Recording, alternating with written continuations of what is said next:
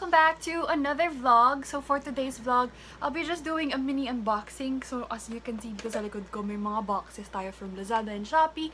So these are the things that I got last 7-7 sale. Actually, hindi pa to lahat. Kailangan ko lang buksan agad kasi dumating na yung Lazmart. And since food to, mas better na buksan na siya agad para makain na agad. And if you can hear some noises in the background, I'm so sorry guys, hindi to planned. Um, I just woke up.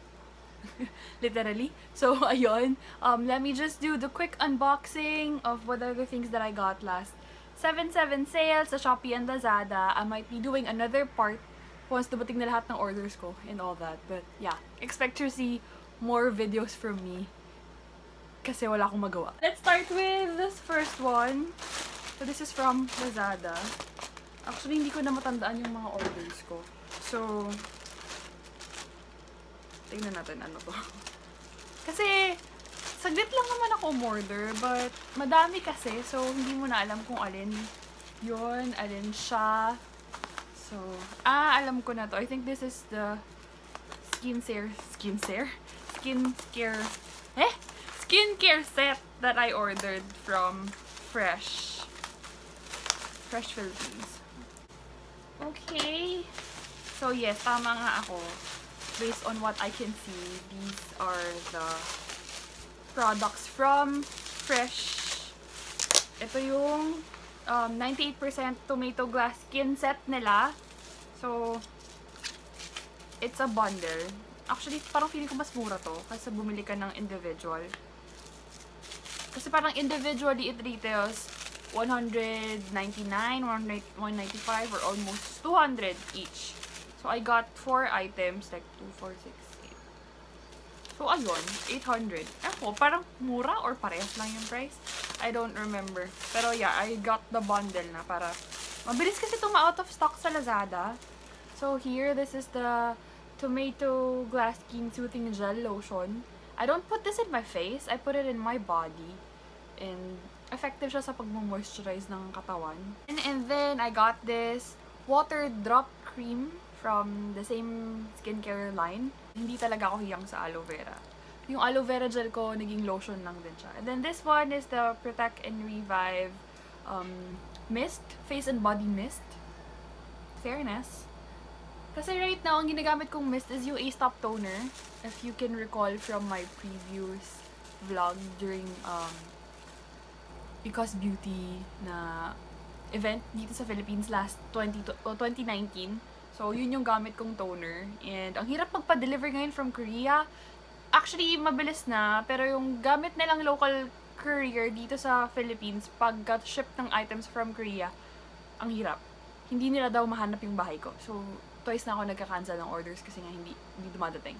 So, I'm gonna be trying this um, face and body mist. So, all-day makeup setter daw siya. But, it has SPF 50, so, It's good. And I got this um, hydrating toner. So right now, in fairness, nag-improve yung skin ko talaga ng bongga. As in, wala na ako masyadong um, pimples. For this, um, four products, I think I got it for 800 pesos. I'm not sure if 800 pesos nga. Basta something around that. So, it's like 200 pesos each. Pero I don't think it's 200 pesos each. Meron, ito yata medyo mas mahal to. Sorry sa background kung may sariling ilaw doon. Anyway, so, ayan. I got these four products from the Tomato Glass Skin. So, this is um, their hydrating and mild um, skincare line na pang-maintain after rejuvenating your face. So, ayun. I'm gonna try this. I'm not sure yet how it will react after the rejuvenating process na pinanggalingan or pinagdaanan ng face ko. But, I might be doing another video about this if it works. So, with this, maliit lang nito, pero ang laki ng bag. Ayan na siya.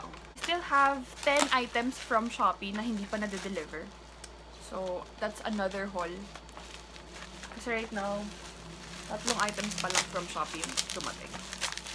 Okay, medyo pangit na yung box. Uh, magulo na siya. But, This is actually a mini ring light.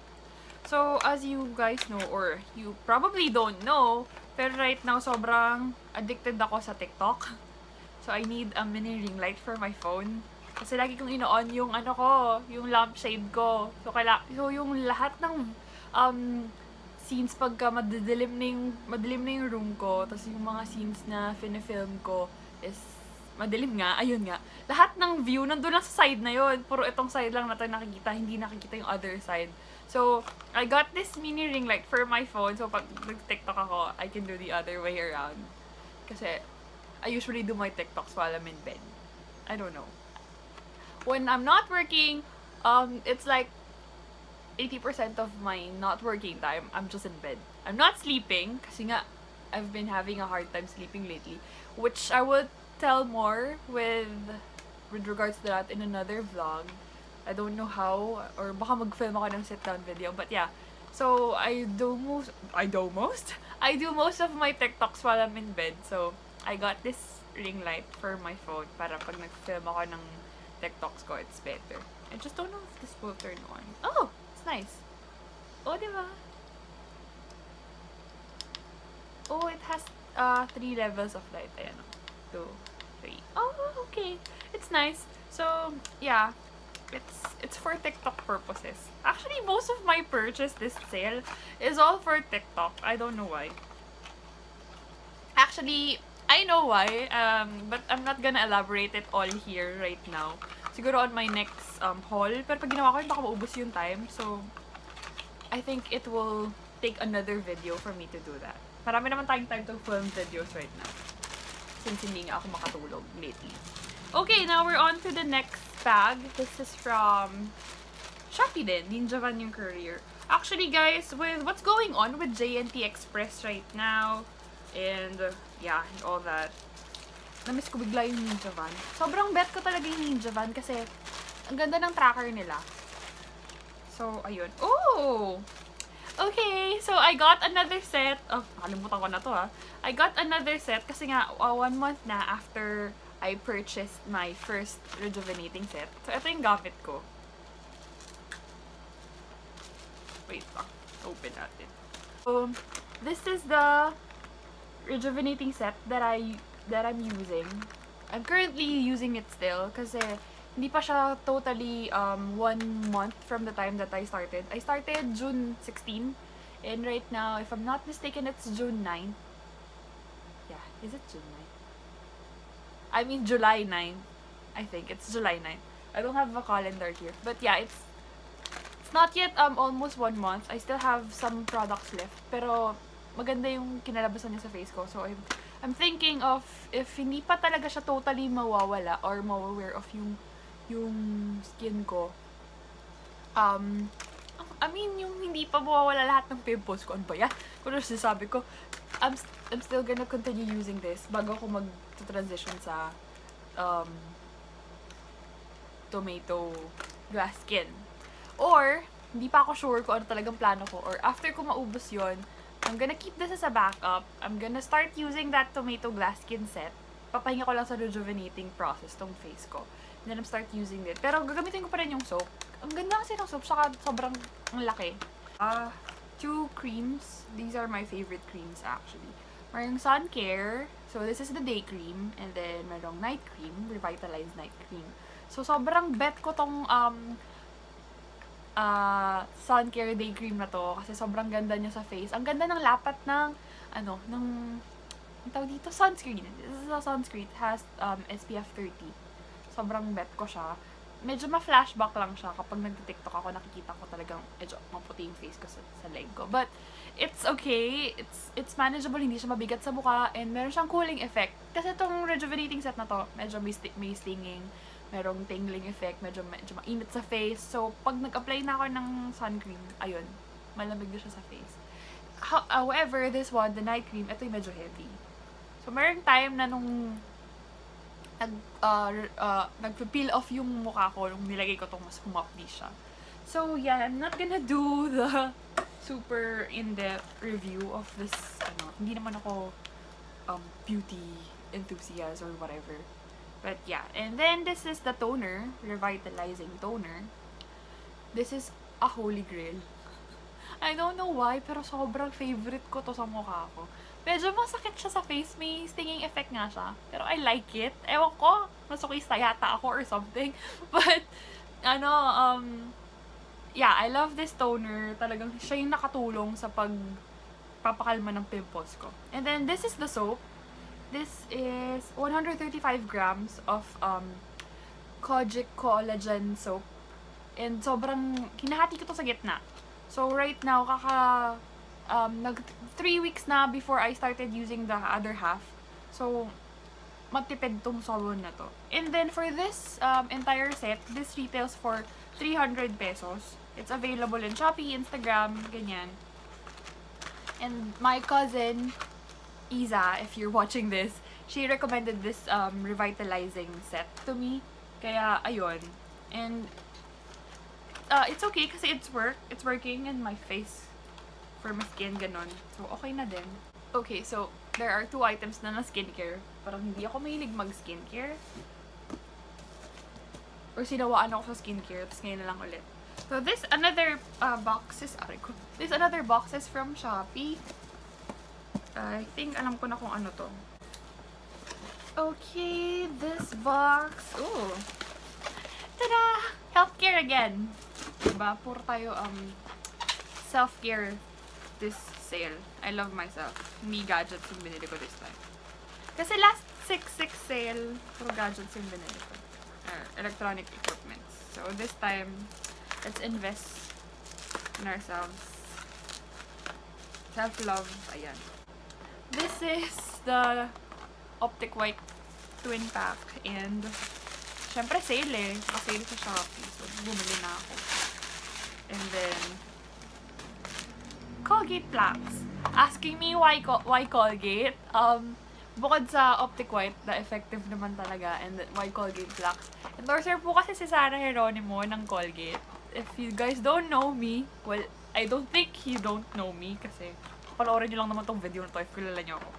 But, I'm a very big fan of Sarah G. And she endorses this brand. So, ayan. I'm buying it. Di ba gano'n naman pag fan ka? Kapag kung ano i-endorse ng favorite artist mo or idol mo. Um, bibilin mo. Okay, anyway. So, yun. Nag-replenish lang ako ng toothpaste and mouthwash. And then, for the big box, ang bigat. Ito na yung pinaka pinaka-inaantay. Pinaka-dahilan kung bakit ako nag-unboxing and haul video ngayon. Kasi nga, dahil dito. Gutom na daw yung brother ko. Gusto niya na simulan kainin. Binuksan niya na nga, oh. Diba? Anyway, so let's start. This is from Laz... La, Lazmart? Lazmart.